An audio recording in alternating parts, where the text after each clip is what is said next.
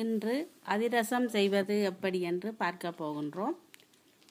இதற்கு தேவையான பொருட்கள் அரை கிலோ ப வெள்ளைப்பச்சி அரிசி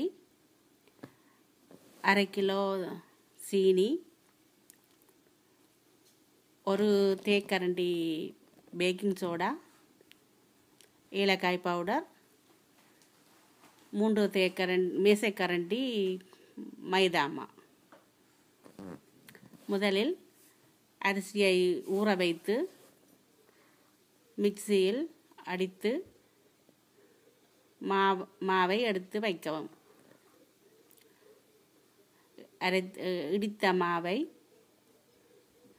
சீனியையும் போட்டு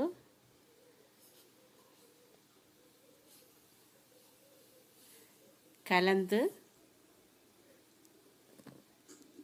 இருபத்தி நாலு மணித்தியாலம் உறவிட வேண்டும்.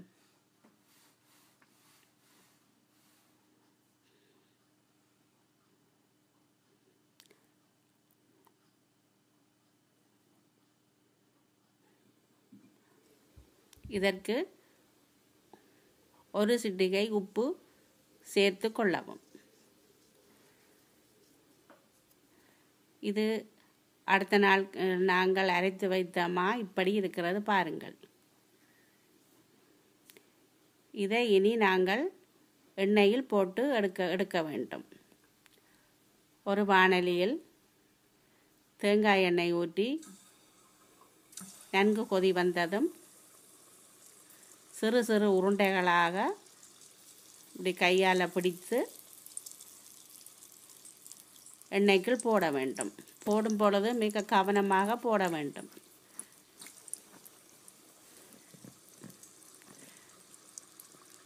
போட்ட உருண்டைகள் வெந்ததும் எழும்பி பந்து போல் மேலே வரும்.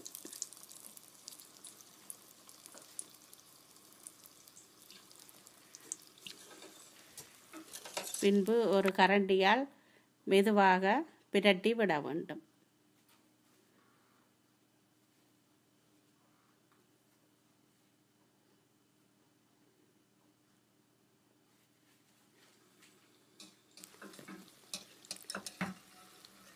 நன்கு பொன்னிறமாக வந்ததும்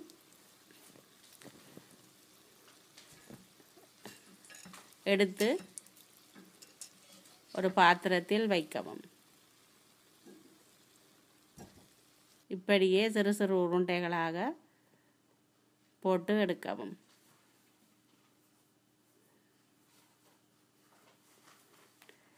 இதை தேநீருடன் சாப்பிடுங்கள். நன்றி.